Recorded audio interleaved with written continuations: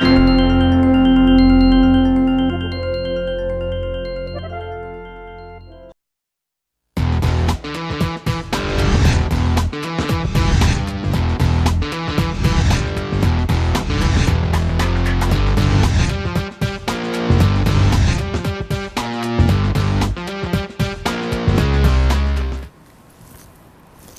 สวัสดีค่ะต้อนรับคุณผู้ชมเข้าสู่รายการพบหมอรามาวาไรตี้สุขภาพเพื่อคนรักสุขภาพนะคะ วันนี้เจอกันวันจันทร์วันแรกของสัปดาห์นะคะ มาพร้อมกับเรื่องราวที่เกี่ยวข้องกับสุขภาพนะคะที่คุณผู้ชมจะได้อัปเดตตลอดใน 2 ชั่วโมงเต็มต่อจากนี้ไปนะคะ วันนี้พบกับเกมจิรายุโจธาพุทธิค่ะ มาพร้อมกับอาจารย์เฉลิมพงษ์ฉัดดอกไม้ไพร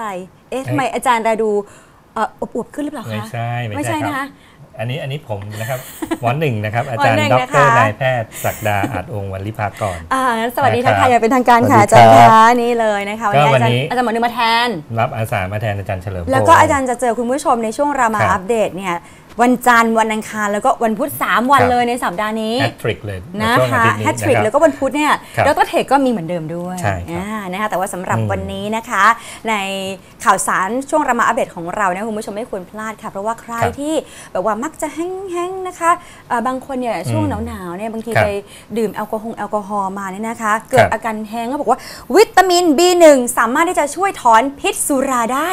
วิตามิน B1 นี่นะคะ ช่วยครับได้อย่างไรได้แสจริดงงหรือว่าเปล่าเกมอ่านพาดหัวข่าวมากไปเอาเหรอคะอาจารย์ใช่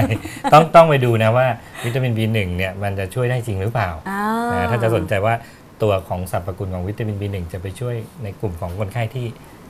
หรือผู้คนที่ทานแอลกอฮอล์แล้วแห้งก์เนี่ยได้ไหมอ่าหรือไปใช้ในกลุ่มไหนเนี่ยเดี๋ยวต้องติดตามกันค่ะอืมนะคะส่วนส่วนในช่วงของกิจกรรมโฮมแคร์วันนี้ครับอาจารย์หมอหนึ่งมีอะไรมาฝากคะครับวันนี้ก็จะเป็นเรื่องรู้จักหยินกับหยางไหมหยินกับยางอ๋อเคยได้ยินเคยได้ยินค่ะอาจารย์เคยได้ยินมันการคืออะไรสร้างความสมดุลใช่ไหมคะใช่ในร่างกายใช่ระหว่างหรือว่าอืมความร้อนกับความและเย็นความเย็นนะครับอืมอย่างในช่วงนี้ก็จะใกล้เรื่องของปลายฝนต้นหนาวแล้วค่ะนะครับก็จะเป็นเข้าช่วงอากาศเย็นวันนี้ก็จะเอาเรื่องของนะครับตัว น้ำดื่มสุขภาพอืมนะครับพวกน้ำดื่มต่างๆเนี่ยที่จะเป็น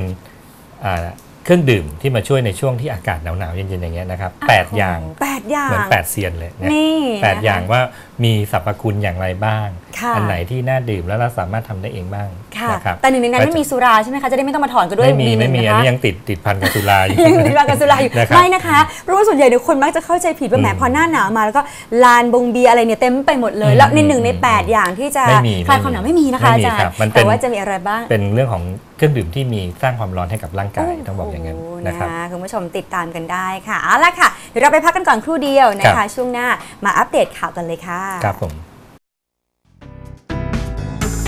การห้ามเลือด ถ้าเลือดออกจากบาดแผล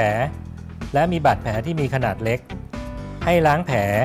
และใช้นิ้วมือที่สะอาดกดลงตรงปากแผล หรือจะใช้แผ่นผ้าสะอาดวางบนบาดแผล แล้วกดให้แน่นประมาณ 5-10 นาที จนเลือดหยุดแล้วจึงหยุดกด และใช้ผ้าพันไว้